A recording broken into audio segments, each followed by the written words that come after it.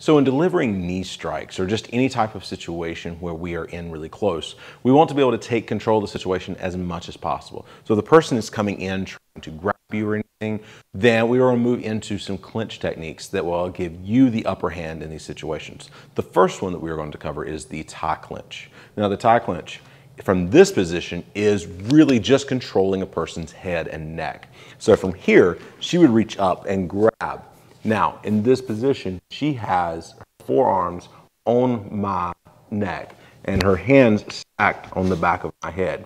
She's going to take her elbows, try to pinch them together, and then she's going to pull me down.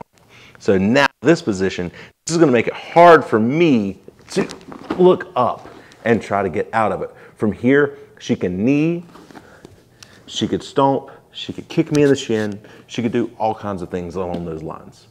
Now, the thing about keeping the Thai clinch is she wants to move. She doesn't want to stay still.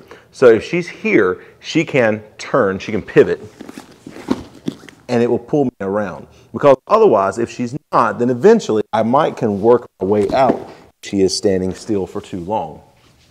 So again, once we're here, I'm gonna turn this way this time.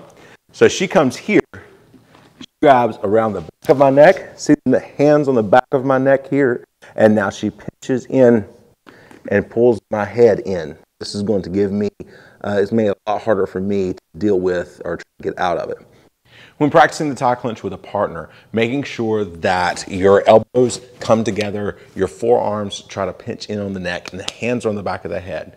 Also, when whipping the person around, make sure you do that slowly uh, because it, it can be fairly painful. So just go ahead and practice it through, work it through with your partner, and work on that controlling the situation as much as you can. And again, like everything else, we just want to ramp up the aggression slowly.